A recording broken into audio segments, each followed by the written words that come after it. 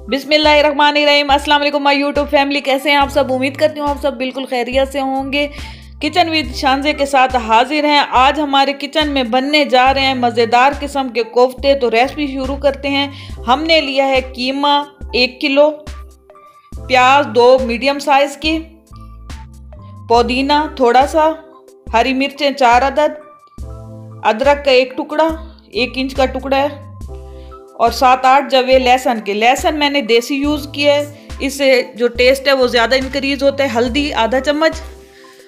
लाल मिर्च भरा हुआ एक चम्मच। नमक एक चम्मच। दो लौंग, बड़ी इलायची, जवत्री, कुछ दाने काली मिर्च के या एक चम्मच काली मिर्च के दानों की। गरम मसाला, थोड़ी सी दारचीनी पिसी हुई। और बेर मर्च या कुटी मर्च। इनको हम ग्रैंड करेंगे।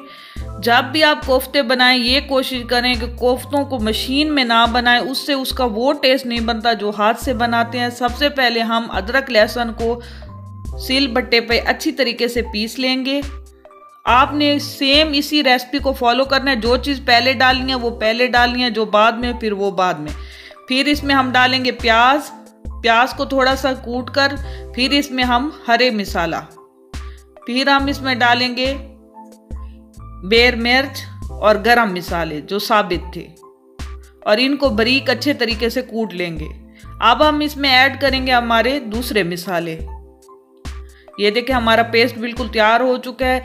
आप सील पट्टे पर जो बनाते हैं, वो बहुत ज़्यादा टेस्ट ठीक है, मशीन में बन जाता है, लेकिन वो उसका वो टेस्ट नहीं होता। कीमे को हमने मशीन में बारीक पीस लिया है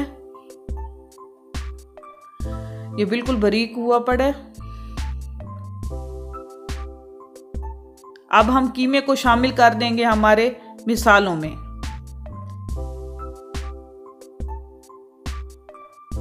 और अगेन इसको अच्छे तरीके से पीस लेंगे।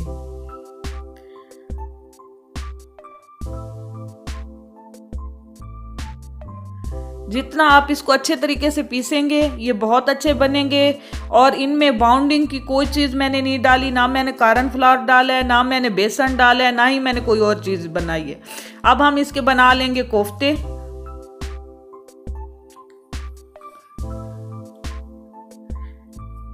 प्रेशर कुकर में मैंने डाल दिया ऑयल और प्याज, और इसका जो ढक्कन है प्रेशर कुकर का, उसके ऊपर एक बड़ी थाली दे दिया और उसके ऊपर मैंने रख दिए कोफ्ते। इन कोफ्तों को हम फ्राई नहीं करेंगे, इनको हम अरबी स्टाइल में बनाएँगे। अरबियन जो, जिस किस्म के कोफ्ते बनाते हैं, वो ऐसे ही होते हैं, भाप में पकते हैं और इनका टेस्ट बिल्कुल ही लाजवाब और मज़ेदार बनता है। नीचे ये देखें प्रेशर कुकर में हमारे प्याज ब्राउन हो रहे हैं। अब इनकी जो भाप होगी, उसके ऊपर ये कोफ्ते हमारे तैयार हो रहे हैं। थोड़ा सा लिया पानी, अब प्याज में थोड़ा सा डाल देंगे पानी, जब ये हल्के ब्राउन हो जाएँगे।